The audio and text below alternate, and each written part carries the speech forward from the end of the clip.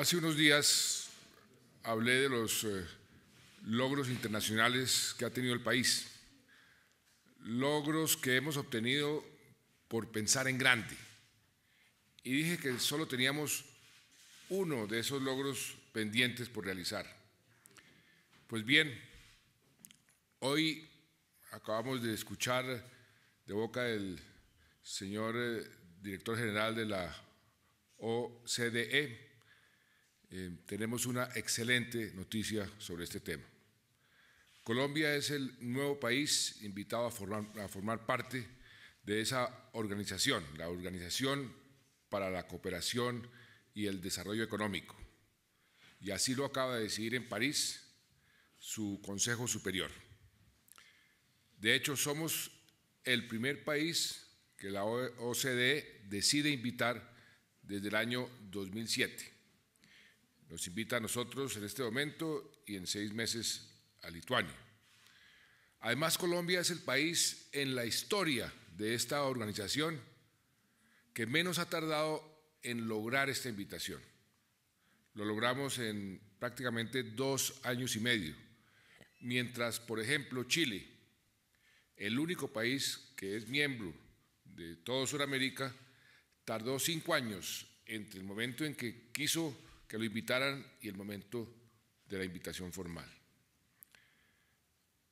¿Cómo se debe interpretar esto? Como un reconocimiento a los logros del gobierno y a los logros del país en materia social, en materia económica, en materia de seguridad. Es un reflejo, un reflejo de la transformación de Colombia y un espaldarazo a la tarea que venimos realizando. Y la gente se pregunta, ¿qué es la OCDE? ¿Por qué es tan importante a nivel mundial? Y la respuesta es muy sencilla.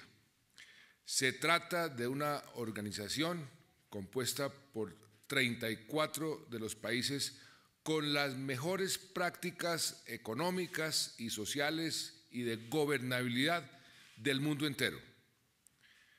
Es un verdadero club de buenas prácticas, donde están los países con mejores perspectivas y con mejor desempeño y que ahora nos abrió sus puertas. ¿Y qué va a significar para Colombia, para los colombianos, ingresar a la OCDE? Pues significa que vamos a mejorar cada vez más la calidad de nuestras políticas públicas y vamos a medirnos ahora sí, con los más altos estándares internacionales. Significa que se va a incrementar aún más la confianza de los inversionistas en nuestro país, lo que se traduce en más empleo, en más competitividad, en mejores condiciones de vida para todos los colombianos. Significa que Colombia se sigue insertando y de qué manera en los escenarios mundiales más importantes en materia económica y en materia política. Todos, todos tendrán puestos sus ojos en Colombia. Y debo aclarar que la OCDE no va a decir qué hacer, pero nos va a decir cuál es la mejor manera de hacer lo que nosotros queremos hacer.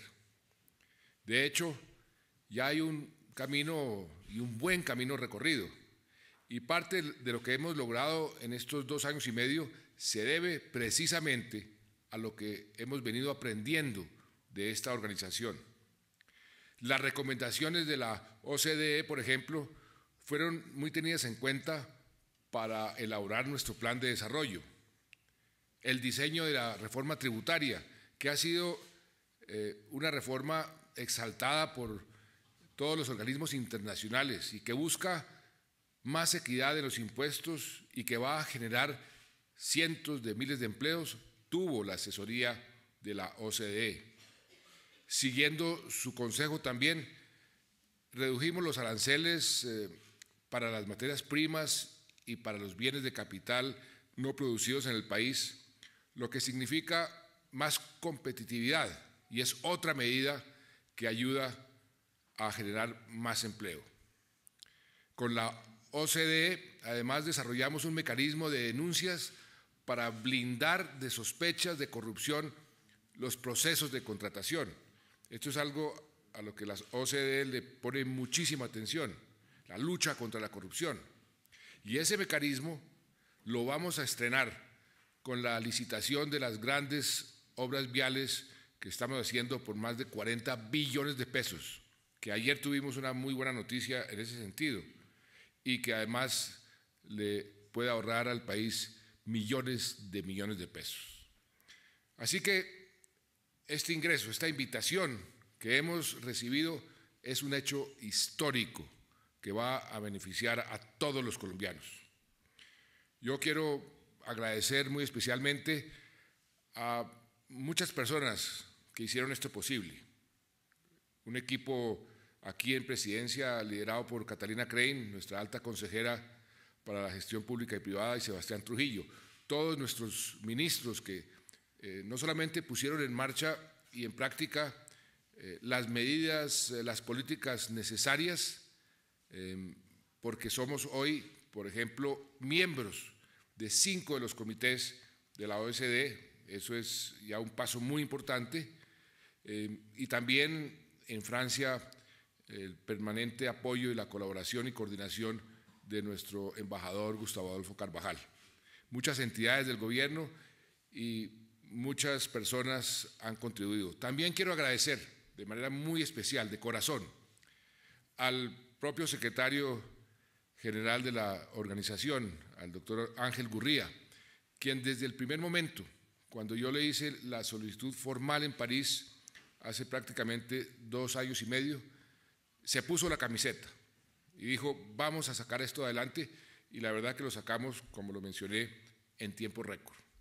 Y a todos los países amigos que presionaron, que nos apoyaron en todas las eh, instancias, porque esto es un proceso bien complicado y bien difícil, eh, y que hoy, pues afortunadamente, hay luz verde para nuestro ingreso. La gente se pregunta también qué, hace falta. Esto lo podríamos asimilar a que nos, eh, nos aceptaron en, la mejor universidad, pero nos aceptaron porque ya hemos pasado muchos de sus cursos, ya eh, tenemos muchos créditos para graduarnos y nos falta una hoja de ruta para seguir mejorando nuestras políticas públicas y tener el grado formalmente. Pero el hecho de haber sido aceptado, haber sido eh, como miembro, como eh, parte de la OECD, es un hecho que eh, los colombianos debemos sentirnos muy orgullosos, porque es una noticia muy buena, porque no a cualquier país lo invitan a formar parte de esta organización. Solo los mejores son invitados y Colombia, por fortuna, está dentro de ellos. Muchas gracias.